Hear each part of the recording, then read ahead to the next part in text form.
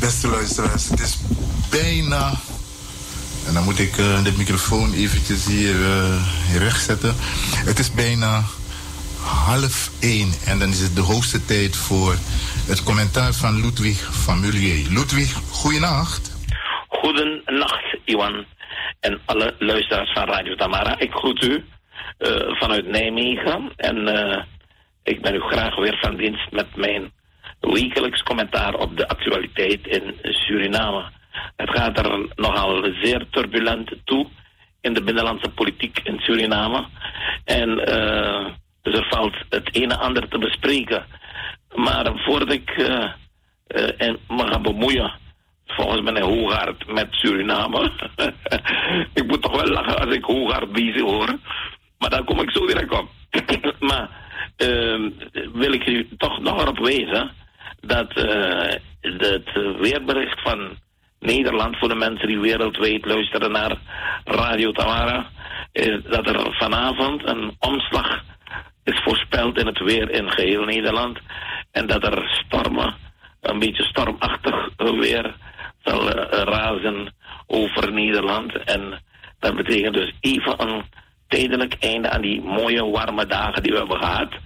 En volgens de voorspellingen uh, voor de volgende week is pas dat pas op het einde van de volgende week weer de warme uh, golf Nederland zal treffen en dat het weer een stuk warmer zal worden. En even nauwgezetter, uh, wanneer ik praat over koud en warm, de temperaturen die, zijn nu, die nu zijn voorspeld, zijn dat ze gaan dalen beneden de 20 graden. Dus 17, 18 graden overdag en wat kouder uh, s'nachts. Dat is voor de komende week. En waarom ik dit zeg, want ik weet dat een heleboel Surinamers hebben genoten van de hittegolf, de afgelopen hitte. In Nederland leek het alsof Nederland een paradijs was, uh, met warm weer. En dan kon men zich even in Suriname wanen. Dus eventjes voorbij, zoals het gaat met het weertype in Nederland. Het houdt de mensen hier wakker. Elke dag moet je je afvragen of het warm of koud wordt. En dat heeft een zekere alertheid met zich meegebracht. En die alertheid zie je dus dan niet uh, in de rest van de wereld, vooral in die tropische gebieden. Ik uh, lees de laatste tijd veel in de literatuur. Er zijn met name Afrikaanse uh, geleerden in de Verenigde Staten die erop wijzen dat de hele wereld zich met Afrika bezighoudt. Behalve de Afrikanen zelf. het lijkt alsof die Afrikaanse politieke leiders slapen wanneer, wanneer het gaat om wereldvraagstukken. Is, is Afrika niet in beeld. Ik, ik, noem het maar omdat ik uh, in het kader van mijn commentaren toch uh, niet met mijn rug naar de buitenwereld wil praten. Maar terwijl ik Suriname behandel, kijk ik ook wat er in de rest van de wereld aan de hand is. En uh, je ziet, en dan ga ik nou direct even op wanneer hoe gaat reageren, dat bepaalde mensen in Suriname, en ik, ik kan er wel om lachen, maar het is zeer triest dat je ziet de manier waarop ze praten, dat ze eeuwen zijn uh, achterlopen. Ja, mensen die, die worden niet ouder dan een eeuw, maar, maar uh, het, het komt erop neer, men men, men loopt gewoon achter in het denken in Suriname. Uh, we, we, leven al in een wereld waar, waar, waar er sprake is van een global village. Uh, dat uh, communicatiemethoden zoals de, de, de, de, de, de, snelweg, de elektronische snelweg, het internet brengt de wereld dichter bij de mensen in huis. Er zijn allerlei communicatievormen van de sociale media dat je dus met een mobieltje de hele wereld met je meetorst. Ja, en op, op elke seconde, elke seconde kun je op de hoogte zijn van dingen die wereldwijd aan de hand zijn. En ook direct op reageren. Ja, en dat dit alles voorbij gaat aan meneer Hooghart. Ik, ik, ik, ik vergelijk het met de stilstand die er is in die zogenaamde socialistische landen. Die terecht aan de ene kant de nadruk leggen op welvaartsverdeling en armoedezorg, maar, te, maar ten onrechte die bevolking achterhouden. Zodat je bijvoorbeeld nu in Cuba om aan een dwarsstraat te nemen, een voorbeeld. Cuba heeft op een heleboel terreinen heel veel successen geboekt. En daar kom ik straks ook op als ik commentaar lever op de situatie in Suriname. Maar op een heleboel terreinen loopt Cuba achter. En zo ook op het gebied van computers en de, internet, de, de, de, de, de, ICT, ja, eh, de, die communicatie via internet, et cetera, loopt gewoon achter. En, sorry. en je, je ziet dus dan dat er ook uh, in, de, in het denken en het denken over wereldvraagstukken en wat er eigenlijk op de wereld aan de hand is, lopen die landen gewoon achter. En uh, dat zie je dus ook bij Hoogaard. Hij is een belangrijke vakbondsleider geweest in een oude tijd. En hij is, uh, zoals men het in Suriname zegt, met, het, het woord is algemeen gebruikt, maar het is een verkeerd gebruik, Nederlands woord, maar ik gebruik het ook. Men zegt in Suriname, je wordt geaccommodeerd. Dus Hoogaard is geaccommodeerd als vakbondsleider. Heeft hij zijn vakbondspositie verruild voor een positie in het Surinaams parlement. Dat is hem mogelijk gemaakt door zijn lidmaatschap van de NDP, van meneer Bouterse. En toen heeft meneer Hovaert maar één opdracht gekregen. En dat is om de vakbeweging in Suriname de mond te snoeren.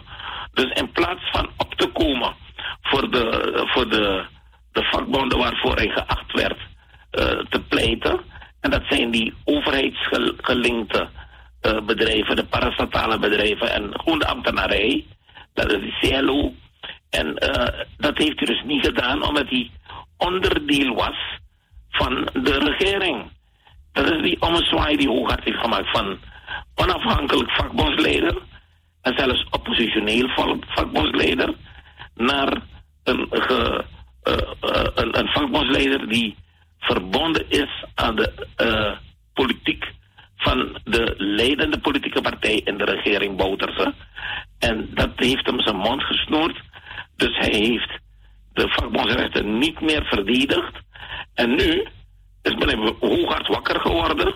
Dus daarom vergelijk ik ook met die Afrikaanse leiders. Die, je hoort dus weinig van de, bemoei de, de, de, de, de visie van Afrika op de wereld. Omdat het lijkt alsof die, die, die politieke leiders daar met hun rug naar de buitenwereld regeren. En zich alleen maar bezighouden met het onderdrukken van hun eigen bevolking. Om te kunnen stelen en te kunnen blijven stelen. En dat is het prototype dat meneer Hooghart aan ons demonstreert. Ik ga er verder geen woorden aan vuil maken. Maar ik vind dat het onze taak is om dit soort achtergebleven, achtergebleven dom, dommerikken, om die te analyseren, om onze bevolking te, op te voeden en het kunnen ontmaskeren van dit soort gladjanissen die uh, wel goed gebekt zijn en een aantal leuke dingen kunnen zeggen met hun mond, maar die totaal bezijden de werkelijkheid leven. En het lijkt bijna alsof ze op een andere planeet zitten. De manier waarop uh, praat over Nederlands kolonialisme, dan, dan zie ik, ik zie Piet Hein en Michiel de Ruiter nog met boten varen voor de kust van Suriname. Terwijl natuurlijk ons land enorm vooruit is gegaan op verschillende vlakken. En dat kan Hooghart niet meer in verband brengen met zijn positie als vakbondsleider en politicus. Vandaar dat hij de ene, de ene enormiteit, dat is een mooi deftig woord voor stommiteit, de ene stommiteit naar de andere de wereld in jaagt. En wat ik erg vind voor Suriname, is dat dit soort figuren een prominente rol hebben in de media. Ze krijgen media-aandacht. Ze mogen in het parlement zitten en de stomste dingen bij herhaling uh, vertellen. Waardoor in feite ze ertoe bijdragen om een heleboel nevel in Suriname te laten neerdalen. Zodat die bevolking niet meer duidelijk die verhoudingen ziet. Want ze moeten hun rol als vakbondsleider nog zo lang mogelijk kunnen volhouden. Dus hebben ze baat bij veel mist, veel uh, uh, nevel, veel onduidelijkheid. Daar groeien ze bij. En in troebel water is het goed vissen vangen, zegt het uh, spreekwoord. En dat geldt met name voor dit type politiek, politicus. ik ga naar mijn gebruikelijke onderwerpen. Het is in Suriname weer zover dat het, de coronapandemie 66 doden heeft opgeëist. En dat zijn er vier, dus een sprong van vier. de laatste dagen is het bijna elke dag een sprong van één minstens. En je hebt dus ook sprongen van vier personen. En, en vandaag is het dus de opzichte van wat er gisteren het getal was, zijn er vier bijgekomen. Dus 66 doden totaal te betreuren als gevolg van de coronapandemie. Ik ga het hierbij laten wat corona betreft. Dat, want nogmaals, u wordt er mee doodgegooid. Ik kijk dagelijks naar het Surinaams nieuws op de televisie. En ik volg de berichten in de kranten. Uh, men, men behandelt corona van alle kanten. Maar wat ik, wat ik mis, uh, en ik blijf het zeggen, is het inzicht. Het inzicht in waar wij als land, als Suriname, waar wij staan uh, met betrekking tot de coronapandemie. En, en hoe, of wij het onder controle hebben en wanneer wij het denken onder controle te hebben, als het zo is dat we het nog niet onder controle hebben.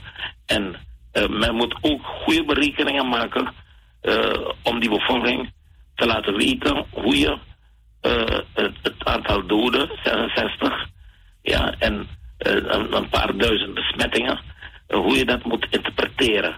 En, en ik wijs op dat de, wat ik zo in de wereld heb gevolgd, dus dat, dat, dat is mijn taak om dat in het kader van dit programma aan u mede te delen. Dan zie je dat overal ter wereld het gaat om de communicatie tussen de politieke leiders, die dus de beslissing hebben over de maatschappelijke actualiteit, en het volk. Men moet zijn eigen volk goed voorlichten. En dat is in elk land anders.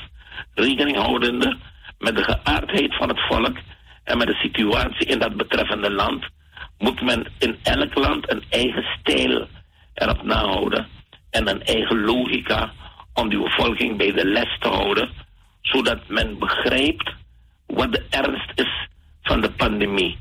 En dan bereik je heel veel, want dan kan men het met de regering oneens zijn, maar dan legt men toch een zekere mate van gehoorzaamheid aan de dag, zodat uh, er toch beleid gemaakt kan worden. En je ziet dat Suriname met dit vraagstuk worstelt. En ik heb het de vorige keer in verband gebracht met de mentaliteit in Nederland. In Suriname gebeuren dingen altijd wat later dan ze in Nederland plaatsvinden. Omdat wij in feite een kopie zijn van uh, de Nederlandse maatschappij. En laat me u dit zeggen, dan geef ik indirect ook antwoord aan meneer Hoogaard. Voor zover hij het nu weet om maar een dwarsstraat te noemen van een heel belangrijk fenomeen. Onze, ons recht, onze wetgeving, ja, is door omstandigheden. Ik ga dat niet nu behandelen, maar ik geef het als sideline informatie. Geef ik het u mee dat, dat ons, ons recht is een geconcordeerd recht. Wij, wij hebben een geconcordeerde wetgeving. Dat we zeggen dat we uh, onze wetten ja, kopiëren van Nederland. Dat, dat is ons hele wetboek van strafrecht. Dat is onze hele, de hele wetgeving, onze hele jurisprudentie, de manier waarop we dingen aanpakken. En dat is geen schande. Dat is in de hele wereld zo dat je, je bent bijna verplicht om uh, landen die verder zijn in de rechtsontwikkeling en, en bepaalde dingen al hebben uitgezocht, om dat van ze over te nemen. Dat noemt men met een moeilijk woord in de sociologie, noemt men dat uh, de wet van de remmende voorsprong. Dat jij dus niet elk stadium opnieuw hoeft door te maken. Je kunt, je kunt stadia overslaan. En zo kunnen landen die een beetje achter zijn, achter qua momenten waarop bepaalde ontwikkelingen zich voordoen, die kunnen inhaalslagen maken. En dat is, er is niks mis mee. Alleen moet je blijven uitleggen aan die bevolking waarmee je bezig bent. En in Suriname is nu actueel uh, een, uh, een, een voorval waarbij er een cartoon is gemaakt van meneer Brunswijk in, het, uh, in een krant, het dagblad Suriname, eigendom van meneer Farid Pirkan, die tevens hoofdredacteur is, uh, dat, dat, dat dagblad heeft een cartoon geplaatst van een, een, meneer die aan tafel zit te discussiëren. Uh, en, en men heeft uh, die man die op die stoel zit, heeft men voorzien van een staart, een hele grote staart. En, en daarbij gesuggereerd dat die meneer een aap is. Ja, dus heel Suriname ligt ondersteboven van deze cartoon, die op zich, als u het als cartoon moet beoordelen, is een heel slechte cartoon. Dus uh, ja, hoe zal ik zeggen, het is, het is gewoon een, een simpele tekening, uh, maar met een suggestieve inhoud. En daar wil ik het over hebben. De, die brug maak ik naar het fenomeen wat men noemt in het recht de strafbare belediging. En dan ga ik u zeggen, in Suriname, en dat is een stukje huiswerk wat, voor wat op Suriname ligt te wachten naar aanleiding van deze hype, dit voorval dat heel Suriname bezighoudt. Uh, ik, ik behandel het eenmalig, want zo belangrijk is het niet om heel lang erop te blijven stilstaan. Maar merkwaardig genoeg zie je dat heel Suriname zich erin vastbijt en, uh, en dat dit onderwerp de discussie bezighoudt in Paramaribo, namelijk de cartoon uh, die uh, suggereert dat meneer Brunswijk, die nu vicepresident van Suriname is, dat die een aap zou zijn. Maar nogmaals, het is een cartoon. Het is een, een, een, een, is, het is een bepaalde vorm van hilariteit opwekken door middel van tekeningen. En, en tekeningen met een accent en met een vertekening. Uh, waar, waardoor je dus de nadruk op bepaalde dingen legt. Nou, uh, in de wereld hebben we gezien dat met name in die landen waar de islam sterk vertegenwoordigd is en waarbij de fundamentalisten een, een sterke rol spelen in het maatschappelijk leven, dat, dan, dat daar allerlei dingen hebben plaatsgehad, zelfs in Nederland ook, in de jaren zeventig. Ik herinner me, die Rudy Karel, een of andere grap gemaakt met een damesonderbroek, dat die heeft gegooid in een zaal tijdens een van zijn optredens. En dat die islam zich enorm beledigd voelde. Uh, het was ten tijde van die die, die oliecrisis en de autoloze zondag in die periode, dat uh, Nederland eventjes op zijn grondvesten trilde, omdat men in het Midden-Oosten, waar iedereen uh, uh, islam is, waar de islam een belangrijke rol vervult in de staat, en toen er sprake van dat misschien bepaalde olielijnen richting Nederland zouden worden geblokkeerd omdat de Arabieren boos waren. maar ik moet u zeggen, bij onderzoek achteraf is gebleken dat Nederland nog nooit zoveel olie heeft gehad als in die periode. Is er van alle kanten olie vervoerd naar Nederland. Dus dat is weer een ander politiek aspect waarmee men de mensen gewoon uh, een beetje voor de gek houdt. Maar ik wil erop wijzen dat dus in de hele wereld er van tijd tot tijd, het was ook, het was ook in Zweden het geval, het, uh, in Frankrijk kennen we de, de, de, de acties tegen een, een, redactie van een, van een, van een, tijdschrift, van een krant. Uh, en dus in de hele in Amerika heb je dat soort uh, dingen van tijd tot tijd. Dus het is niet nieuw voor Suriname dat men zich zorgen maakt om cartoons. Dus het gaat mij om één klein aspect van de vrijheid van meningsuiting, namelijk hoe ver kun je gaan in een cartoon? En in het recht, om terug te komen op het pad van het recht, wat ik aan het bewandelen ben, dat heet dit, dit onderwerp, dit, dit gebied, noemt men de strafbare belediging. Namelijk, in welke mate uh, kunnen mensen zich beledigd voelen? En, en hoe ga je met die belediging om? Uh, wat zijn de maatregelen die we treffen in een, in een, in een maatschappij om te voorkomen dat we elkaar beledigen. Ik wil u erop wijzen dat bijvoorbeeld hier in Nederland uh, Hirsi Ali, uh, een, een geïmmigreerde uh, vrouw uit, uit Somalië, een snelle politieke carrière heeft gemaakt en nu in de Verenigde Staten woont. maar ze heeft hier de rechten van de vrouw, de Afrikaanse vrouw, aan de orde gesteld en, en, en heeft vanuit de vrijheid van Nederland, heeft zij de, de, in de islam bevochten de manier waarop men met vrouwen omgaat. En heeft op dat stuk heel veel bereikt. En, en dus de, Nederland staat bekend om zijn, vrije, zijn vrijheid van meningsuiting. En dan zie je dus dat, uh, en het geldt voor heel Europa ten opzichte van de rest van de wereld.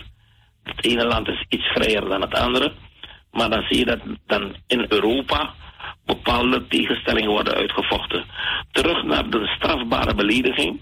Dat is het onderwerp in het Nederlands recht. Waarbij ik u wil herinneren, en ik weet er alles van. Nou, nou ik zeg het een beetje met Brad Kanti van mijn boven. Omdat ik in 1994 ben ik op grond van deze wetsartikelen ben ik in Suriname gearresteerd en heeft men me 40 dagen in de gevangenis. Ik, ik lach er wel om, maar het betekent de maatschappelijke vernietiging van mijn leven. Men heeft me in 1994 40 dagen van de ene op de andere dag in de gevangenis gegooid. Op grond van over, vermeende overtredingen van de, de, de strafbare belediging in het recht. Ja, dus ik zou de vicepresident in Suriname hebben beledigd. En nu gaat het ook daarover in Suriname. Namelijk Brunswijk is vicepresident. Hij was een rebel. Hij, heeft naam gemaakt in Suriname dat hij een wrede rebel was. Een heel wrede jongen. Hij heeft... Uh, uh, hij heeft een militair bijvoorbeeld, om een voorbeeld te geven hoor, van het, nationaal leger, heeft hij levend verbrand. zijn dingen waar we niet bij stilstaan. Maar ik, ik breng het dus in herinnering dat die naam en faam, de roemruchte faam, tussen aanhalingstekens die Brunswijk genoot als jungle commando leider, lag in zijn wreedheid. Dus de manier waarop hij dus niet rekening hield met mensenrechten. Dat heeft de, eh, heeft de mensen in het binnenland de schrik aangejaagd. Brunswijk was een verschrikking. Maar diezelfde Brunswijk, en dat kan verkeren, die heeft zich in positieve zin ontwikkeld. Die heeft druk uit weten te oefenen op de status quo in Suriname. En, en, en vooral Bouterse, in feite heeft hij ook de schrik aan kunnen jagen. Dus zijn, zijn wreedheden hadden een zekere functie, namelijk het pareren van de dictatuur van Bouterse. En daar is hij min of meer in geslaagd. En toen zijn er allerlei pogingen gedaan door Lachman, Venetiaan en, uh, en de, zeggen, de, de, traditionele politiek in Suriname heeft geprobeerd het vuurtje van de Binnenlandse Oorlog te doven. En ik ga niet uitweiden over die Binnenlandse Oorlog, maar ik wil het hebben over het imago van de politicus Brunswijk, dat dat niet een, een, een eentje is van onbesprokenheid. Het is niet eentje van voorbeeldigheid. En toen heeft de bevolking nog een hele fase moeten meemaken van wangedrag van Brunswijk, die zowel in het parlement de pugilistiek, dat, dat zo noemt men dat, dat als je je vuisten gebruikt als verlengstuk van je woorden, van je woordkeuze. Uh, het is dus bekend dat Brunswijk snel uh, aan het vechten raakt. Men, noemt, men zegt, hij heeft een kort lontje. Dus dat korte lontje van Brunswijk heeft er ook toe geleid dat er veel gevochten is. In het parlement waarbij hij telkens betrokken was. Heeft gevochten op het voetbalveld. Hij heeft tegen scheidsrechters wapens getrokken tijdens een voetbalspel. gewapend op het veld. Nogmaals, je, je kunt het zo gek niet bedenken in het persoonlijke gedrag van een leider of Brunswijk heeft zich daaraan schuldig gemaakt. Dat heeft de bevolking ook met een mantel der liefde bedekt, omdat hij daarnaast, dus dat is het, het merkwaardige van de, de, de politicus Brunswijk, dat hij twee kanten heeft. Eén kant van, laten we zeggen, uh, een gebrek aan impulscontrole. En dat, dat is die, die, die, wilde kant, de wilde bras, de rebel. En aan de andere kant ontwikkelt hij zich als burger uh, uh, fantastisch. Hij, hij leert snel. Hij heeft een voetbalteam opgezet in Mongo. Hij heeft een voetbalstadion gefinancierd. Dus aan de ene kant heeft hij de roof en diefstal kapitaal vergaard. Maar aan de andere kant heeft hij een stadion gebouwd in uh, Mongo. En heeft hij een voetbalteam uit de grond gestampt dat kampioen van Suriname is geworden bij herhaling. En nu Suriname naar behoorlijke hoogte heeft getrokken in de internationale voetbalwereld. Dat zijn dus van die tegenstrijdige dingen die verbonden zijn aan de persoon Brunswijk, waardoor zijn imago natuurlijk is gestegen in positieve zin. Maar ik herinner u, gewoon uit eerlijkheid wijs ik u ook op die andere kant, die ook verbonden is aan meneer Brunswijk. En dan, en dan blijf ik even toch hameren dat je behoorlijk dikkati moet hebben om een, medemens in brand te steken. En dat heeft hij op zijn geweten. En dan kan je wel zeggen dat het in het kader van de oorlog is. Maar het zijn van die gruweldaden waar je toch even bij stil moet staan. Met wat voor een karaktertype we te maken hebben. En dan verbaast het mij dat wanneer gewoon op een tekening een staart is getekend bij een meneer die aan tafel zit.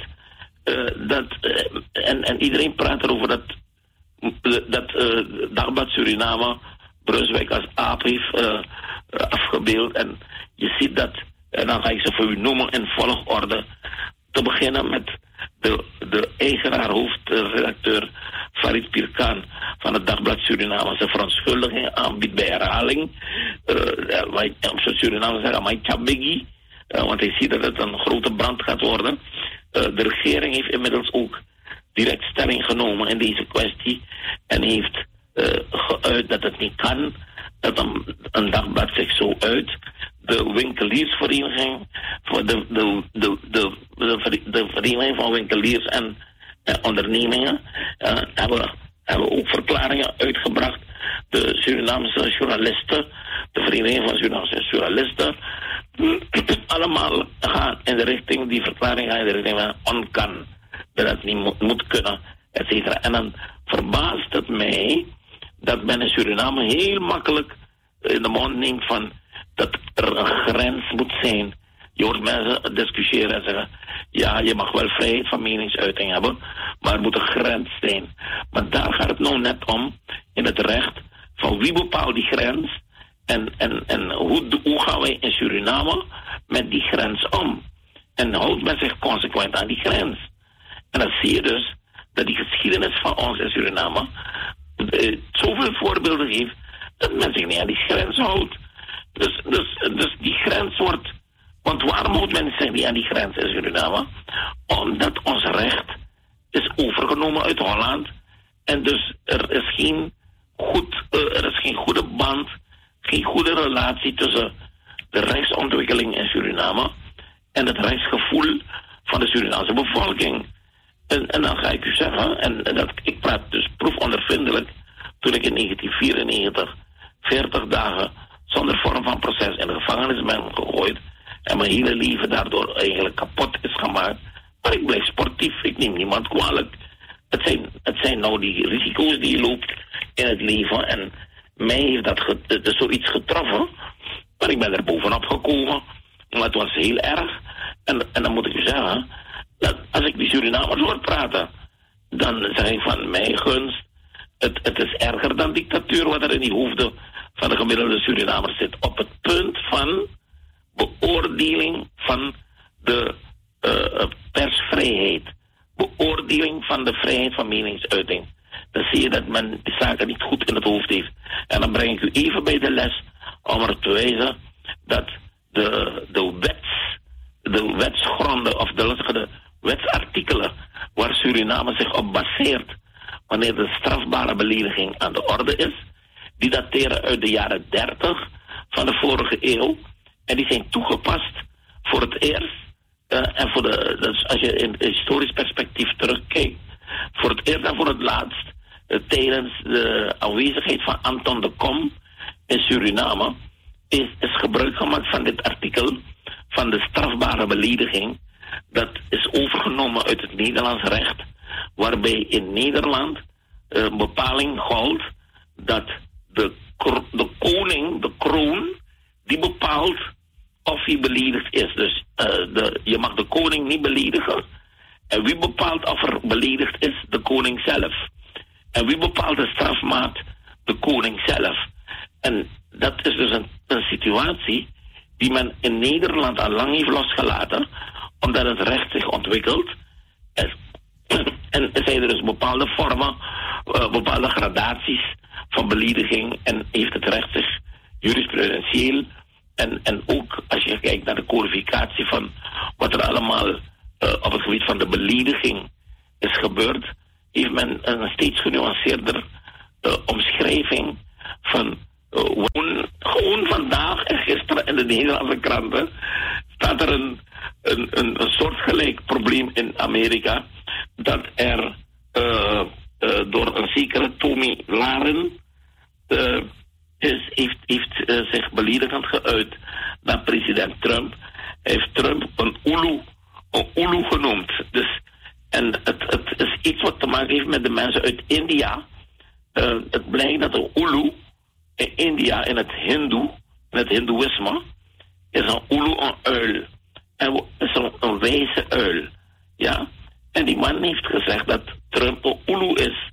Maar er werd in India werd er gegriffeld en, en hilarisch uh, gekeken naar die uitspraak.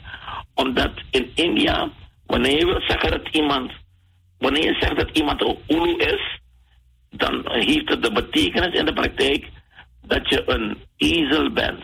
Je bent, je bent een idioot. Dus iemand die, die een, een, uh, voor ezel of idioot wil worden uitgemaakt in het Hindoeïsme, dan gebruikt men het woord Ulu. Men zegt gewoon en, uh, dus ben ik zich, in de pers heeft men zich afgevraagd, is Trump nu een Ulu of een ezel? Ja, en dan zie je dus dat dit soort dingen internationaal uh, hilarisch worden besproken. En het gaat vrij ver. Ik zeg niet dat je dat in Suriname ook moet doen, maar ik wil erop wijzen hoe een land zoals Amerika, dat de vrije van meningsuiting hoog heeft staan, luchtig over iets wat de president aangaat, kan discussiëren en het toevallig zeg ik, word ik op Bowenka bediend, omdat het gaat om een stukje India. Het heeft te maken met India. De manier waarop de Indiaanse cultuur uh, een gelaagdheid heeft in de taal, waarbij je gewoon kan zeggen, iemand is een wijze Ulu, maar dat, dat je een, je geeft een signaal af dat je eigenlijk zegt dat die man een domoor is, dat hij een ezel is of een idioot.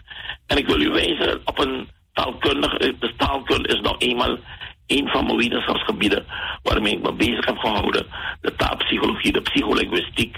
En dan wil ik wijzen op iets wat in de Tweede Wereldoorlog heeft gespeeld hier in Europa.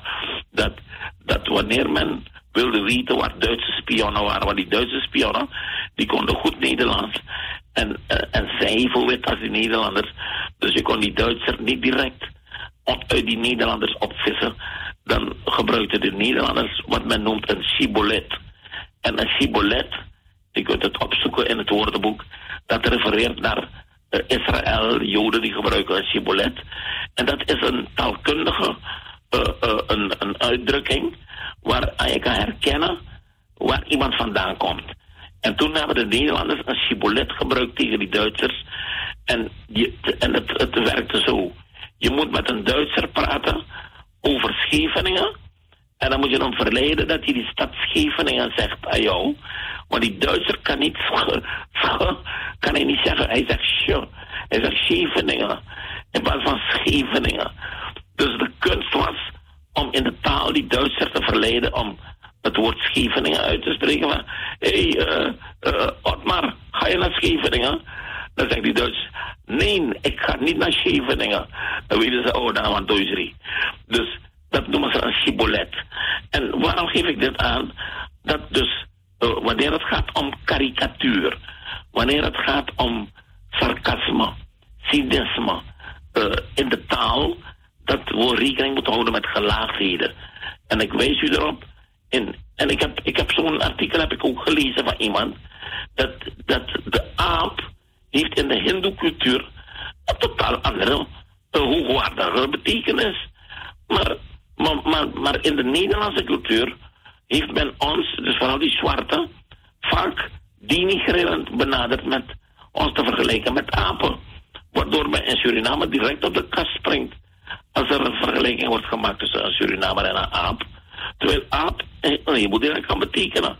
Er zijn zelfs steden in India waar apen gekoesterd worden door de hele bevolking en, en, en vereerd worden. Ze worden vereerd men heeft zelfs afbeeldingen van goden in de vorm van een aap. Dus nogmaals, ik zeg, nu, laten we genuanceerd bezig zijn en niet nu met alle onze gramschap ons richten tegen de VAP of tegen uh, uh, meneer Farid Pirkan en van Dagbad Suriname. Ik hoor dat, dat meneer uh, heeft opgeroepen om die krant niet te kopen. Allerlei domme dingen hoor ik daar in Suriname. Dat is getuigd van een zekere achterlijkheid. En niet kunnen omgaan met de nuance van kunst, met de nuance van een taal. Maar misschien hoort dat bij Suriname. Maar dan wil ik u zeggen waar ik wel heb opgelet. En daarmee eindig ik dit onderwerp, want ik vind, anders beslaat het mijn hele programma. Uh, en dat is het niet waard. Maar ik wil u erop wijzen. Wat, ik, wat mij is opgevallen, is dat meneer Farid Pirkan heeft een televisieprogramma. En daar heeft hij meneer, de nieuwe president uh, uh, Santoki, uitgenodigd om te komen praten. En toen hebben ze zich versproken. Ik heb het eerder in het programma heb ik erop gewezen. Toen heeft meneer, uh, de, de, president heeft zich versproken door langs neus en lippen wijs te maken dat hij Farid Pirkan heeft betrokken in zijn, eh, in zijn, in zijn, in zijn presidentiële rol om hem te adviseren met betrekking tot media. Met andere woorden, meneer Farid Pirkan heeft promotie gemaakt. Die, die, die, is, die is in die kring van die president toegetreden. En ik, ik, ik, ik dacht, want ik, toen ik dat hoorde, ben ik gaan letten op meneer Pirkan. En waar rempel, meneer Pirkan heeft in zijn programma toen zijn televisieprogramma, heeft hij met verve, met alles wat hem ten dienste stond, heeft hij verdedigd dat de First Lady Melissa Sinacheri, dat zij uh, is gevraagd door de, de, president, heeft zelfs aangegeven. Ik heb haar gezet in de raad van commissarissen van het, het bedrijf Staatsolie. En toen heeft meneer Farid dat zitten verdedigen. En hij, haalde aan Verenigde Staten, waar Hillary Clinton ook uh, is benaderd en als, als, als deskundige en dat het moet kunnen, et cetera. Een heleboel verwrongen voorbeelden zijn aangehaald. En ik moet u zeggen, daar heeft, men in Suriname een handje van om willekeurig naar een land te kijken waar men iets ziet gebeuren en het te plakken op de realiteit in Suriname en zomaar generalisaties te doen. En toen is er een hele rare, op een hele rare manier, heeft die zo kritische meneer Farid Pirkan, heeft zich zo stroperig opgesteld ten opzichte van de president, dat ik mezelf afvroeg, en daarom deel ik dat met u nu. Ik dacht, dit gaan we volgen in de toekomst, want dit belooft niet veel goeds. Meneer Pirkan is gepromoveerd. Ik zal maar zwijgen over wat ik weet hoe hij in die rol is gekomen van uh, die hij nu heeft als uh, uh, eigenaar van een krant en, en een vroegere ministerpost en zo in, in tijden van de militairen. maar in ieder geval zeg ik politiek wise bekeken, want ik vind het verder een aardige man, maar ik ben bezig met politiek. En dan zeg ik, voor mij is belangrijker, dus niet, niet die cartoon over Brunswijk, dat is een onbelangrijk ding. Want ik neem aan dat het een slip of de pen kan zijn. Maar, maar wat belangrijker is, is de rol die Dagblad Suriname vervult uh, in het verdedigen van de president. En de rol die meneer Farid Pirkan heeft gekregen als beleidsadviseur van de president op het gebied van mediavraagstukken. En dat is een veel ernstigere aangelegenheid. En ik zie niemand die, die verbanden leggen dat het niet gaat om een cartoon. Het gaat nu dat die, de dagblad Suriname is een regeringskrant aan het worden. Is een krant die, en dan, en dan hebben we een ernstige zaak. Ja, maar, maar, maar, maar Ludwig, mag ik heel eventjes uh, even onderbreken? Kijk, de, de kunstenaar zelf, uh, het is een kunstenaar, ja. die geeft aan dat hij apetrots was op de manier waarop Brunswijk zich gedroeg. Ja, ja. Dus, en om dat woord apetrots tot uitdrukking te brengen, heeft hij die aap gebruikt. Ja, ja, ja. En dat heeft hij uit den treuren ook uitgelegd. Ja. Dus ja, ik, uh, ik, ik vind het ook jammer dat men uh, zoveel aanstoot neemt aan zoiets. Oké, het is vervelend, want ja, net wat je zegt, vanuit uh, de, de, de, de, de Nederlandse historie zijn zwarte mensen altijd als apen ja, voorgesteld, om het maar zo te zeggen. En in dit geval zegt de Surinamer, die over het algemeen nooit racistische dingen heeft gedaan in zijn kunstwerken, ja. dat hij dus aan het apetrots zijn dacht en dat ook tot uitdrukking heeft gebracht. Precies, dat, dat, dat vind ik ook een hele legitieme redenering. Maar ik wijs erop dat de identiteit van het dagblad Suriname is veranderd. En dan wil ik, u, dan wil ik wijzen op een fenomeen. In de filosofie gebruikt men het veel. Dat noemt men het identiteitsvraagstuk van, van, van, van onderwerpen. Een mes, want ik geef het voorbeeld van een mes. Als een mes op tafel ligt en men vraagt jou dat mes te omschrijven, dan is een mes in het algemeen een nuttig voorwerp. Wat je kan gebruiken in de keuken om, om tomaten te snijden, om vlees te snijden, om, om, om, om een sinaasappel te schillen, om dat te gebruiken. Als zodanig wordt een mes gebruikt. Maar een mes, daarmee kun je ook iemand vermoorden. En wie een mes gebruikt om iemand te vermoorden, is een moordenaar. En die wordt gestraft en dat keuren we af. Maar het is hetzelfde mes. Datzelfde mes dus, dat op tafel ligt, kan twee identiteiten hebben en meerdere. Dat, je kan het mes ook gooien naar iemand. Uh, dan heeft het een derde identiteit. Dus een, een, voorwerp, een onderwerp kan van identiteit veranderen. En zo net, om het toe te passen op wat ik zo net heb uitgelegd. Brunswijk is als politicus, als persoon van identiteit veranderd. Hij is van een, een, een, een, een, een iemand die zich aan God nog gebod stoorde, is hij veranderd in een politicus nu. De tweede man in het land, dat, dat heeft de bevolking zelf bepaald. Ja, dat hij de tweede man is. Ja, en maar bij die rol hoort een andere eigenschap. Dus de identiteit van die persoon Brunswijk is veranderd.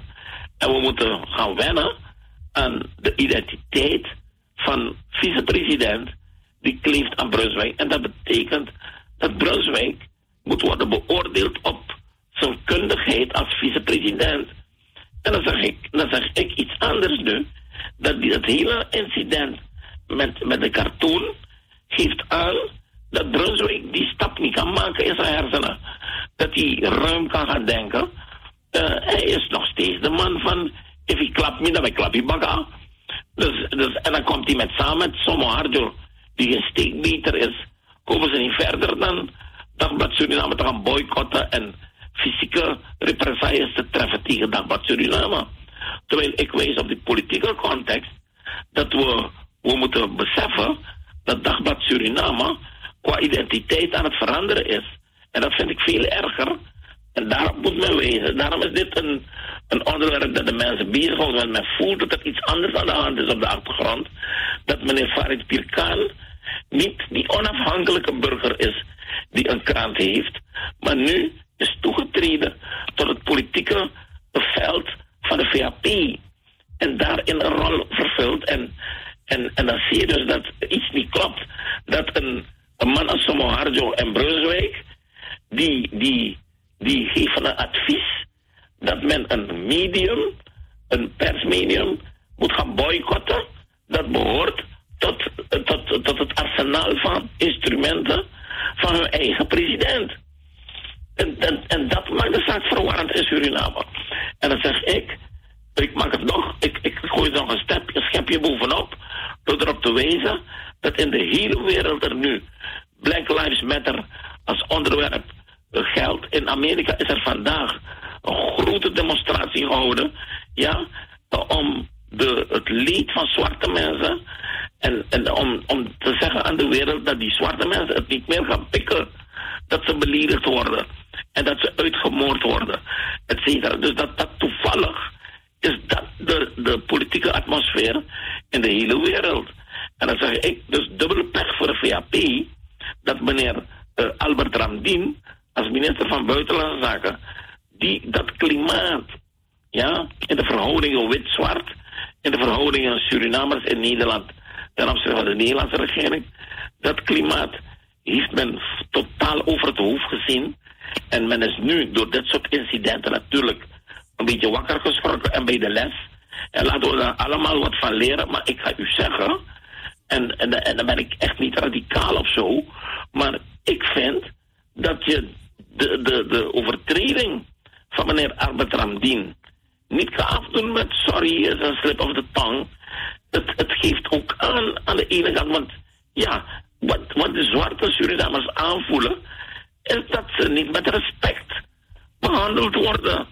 En dat komt dan terug in die rel, de rel tussen aanhalingstekens rondom een cartoon.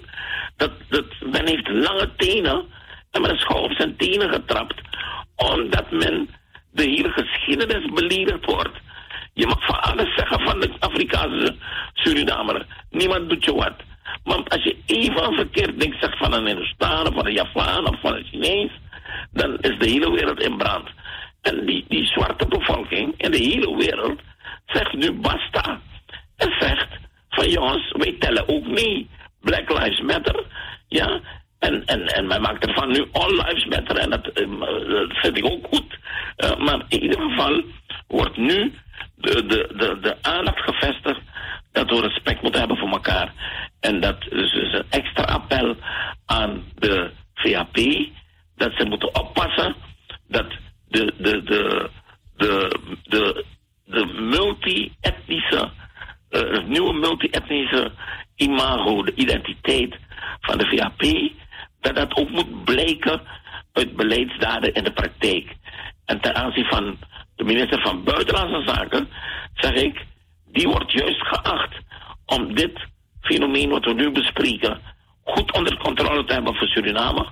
En wanneer die met een, een, blad als de Telegraaf, ik zal maar niet uitweiden over de naam van de Telegraaf in, in Nederland, maar dat die daar, precies daar uh, belandt om zijn interview af te geven en dan achteraf kan zeggen dat hij die bepaalde dingen niet heeft gezegd.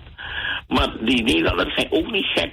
Je hebt zitten praten in een sfeer van dat die journalist zich veilig achter om, om, om, een beetje vrij een vertaling kunnen geven aan wat je hebt gezegd. Met andere woorden, meneer, wat, wat 100% zeker is, is dat, dat die telegraaf, dat die journalist, en de telegraaf heeft goede journalisten, dat die uit die sfeer die meneer Rabdin met die journalist samen heeft opgebouwd, waarbinnen hij dat interview heeft afgestaan, dat die wel uh, de teneur had van dat men op een bepaalde manier de Nederlander wil duidelijk maken. En dat is meneer Andien wel kwalijk te nemen. Dat men wel degelijk die Nederlander heeft willen duidelijk maken van luister, wij zijn niet die zwarte van Afrika, ja, die, die lange tenen hebben en die vinden Black Lives Matter. Wij, wij willen met dat soort dingen niks te maken hebben. En we gaan ook niet genoegdoening vragen voor slavernij. Wij willen een goede relatie met jullie hebben. En jullie erop wijzen dat er ook andere Surinamers bestaan dan die Afrikanen. Die geld willen maken, die Suriname willen verkopen en die, die, die business willen doen.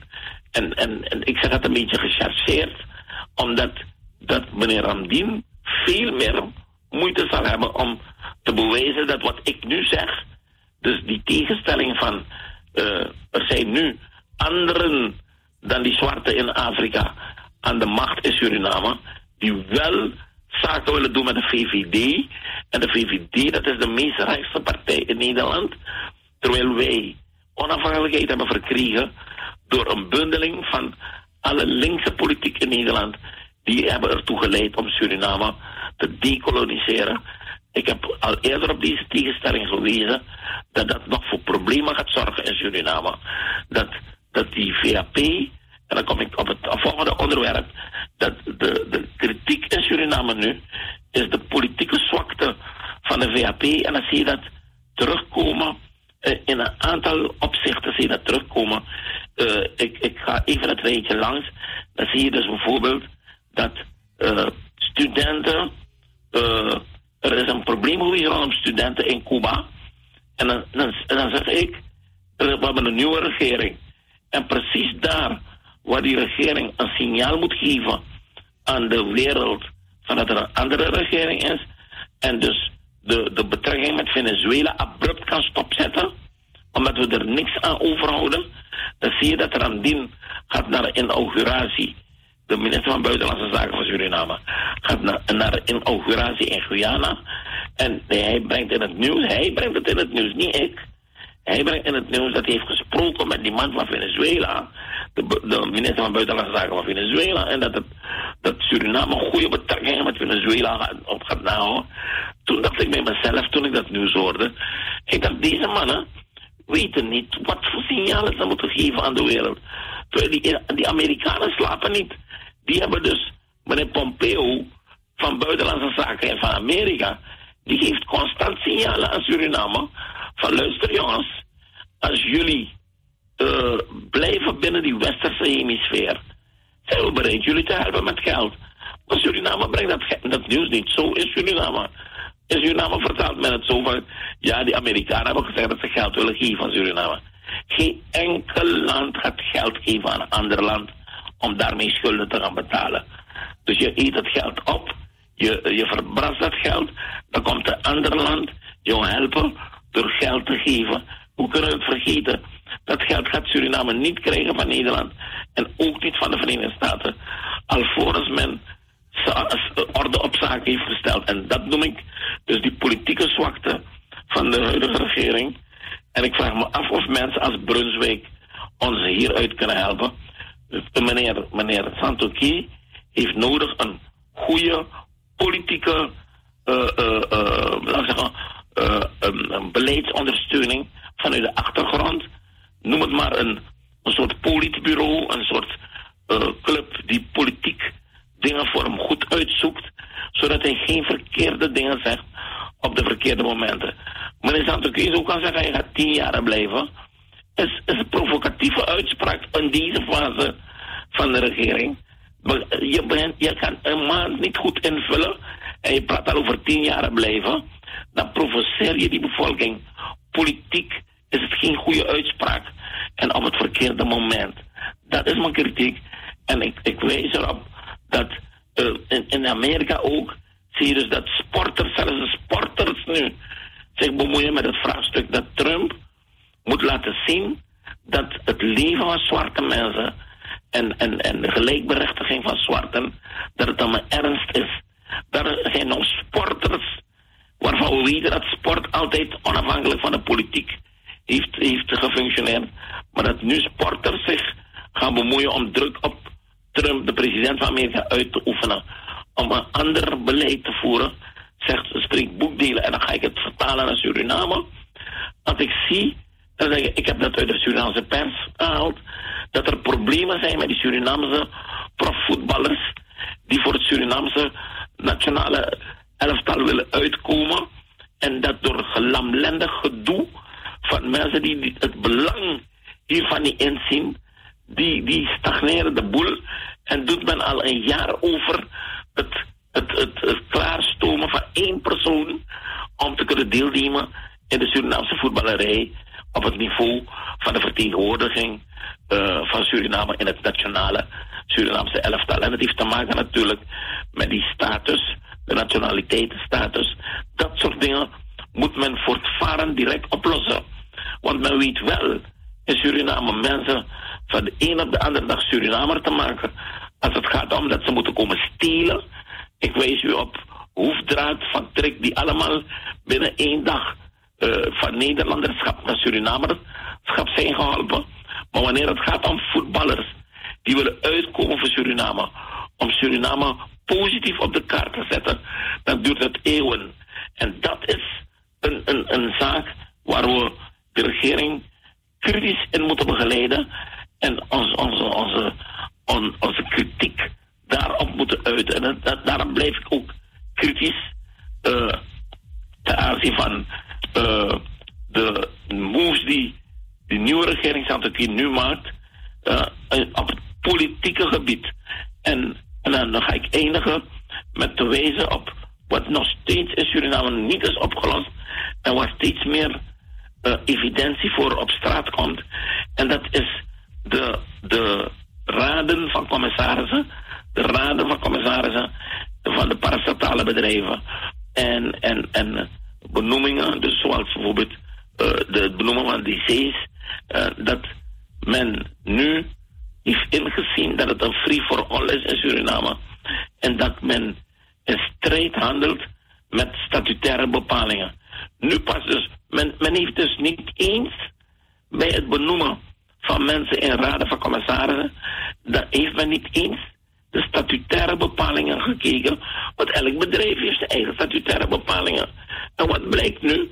Dat, dat die benoemingen waar zoveel kritiek op is, namelijk uh, van de vrouw van Santoki, als, uh, in de raad van commissarissen van de, van de, de staats, van staatsolie, dat er daar staat dat er een leeftijdsgrens is, ja, waar, waar je, waar, dus er, is als voorwaarde gesteld dat je een bepaalde leeftijd moet hebben. En het was geloof ik 45 moet je zijn om uh, uh, te kunnen participeren. Er is ook een nationaliteitenvoorwaarde. Je moet Surinamer zijn om in een raad van commissarissen te kunnen participeren. En wat blijkt dat die broer van, van, van, van een uh, Brunswijk geen een Surinamer is en in verschillende raden van commissarissen zit. Dus men gaat slordig om met de eigen statutaire bepalingen. En dat is het nieuws wat ik u wil brengen. Dat de VHP en de ABOP, dat die in zwaar weer zitten met betrekking tot die laatste benoemingen die zijn gepleegd, dat die moeten worden getoetst op wetmatigheid en op de rechtsgeldigheid. Ja?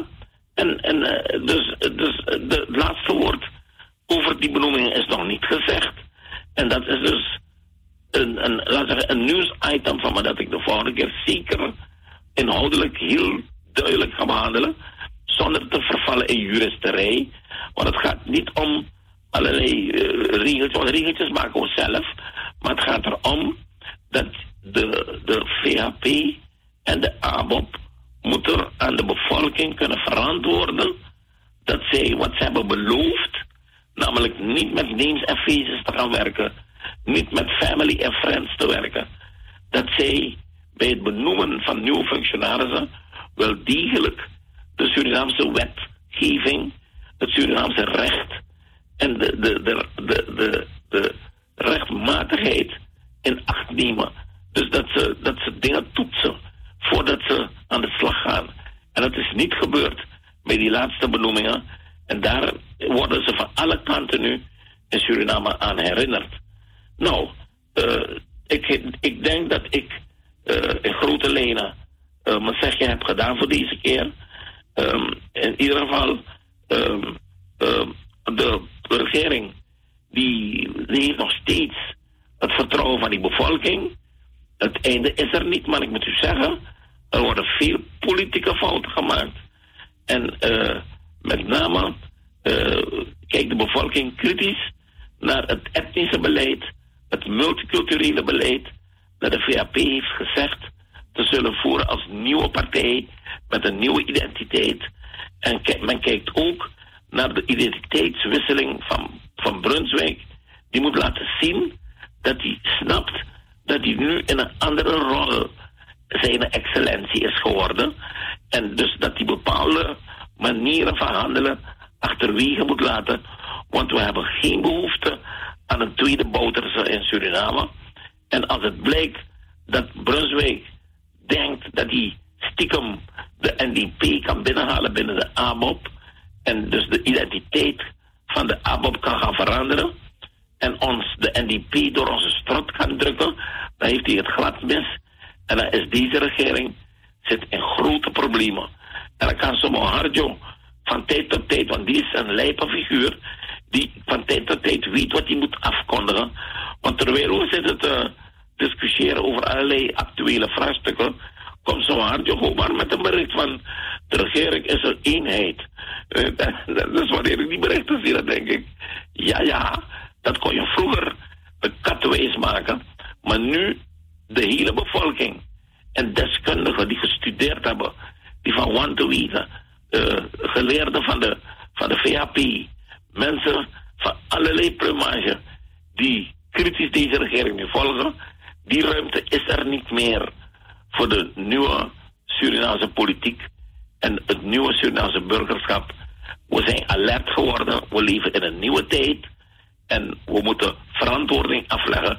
En Brunswijk, Santoki zullen eraan moeten wennen. Dat ze alles zullen moeten uitleggen. En dan, en ik met name op wat is afgekondigd dit weekend. Dat de politie in Suriname uh, extra actief gaat worden gedurende het weekend. En mensen gaat arresteren die de, de wet overtreden in zaken de COVID-19 extra maatregelen die getroffen zijn. Ik waarschuw, ik zeg, je, je houdt een virus niet tegen, een pandemie.